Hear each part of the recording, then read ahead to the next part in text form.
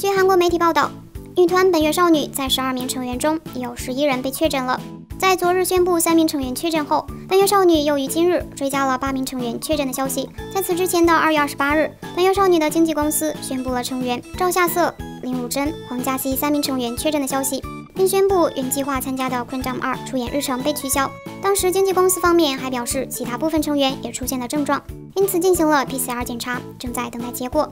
今日经纪公司方面再次发布了官方立场，向粉丝们传达了追加八名确诊成员的消息。至此，除了金贤珍之外的十一名本月少女成员确诊为新冠阳性。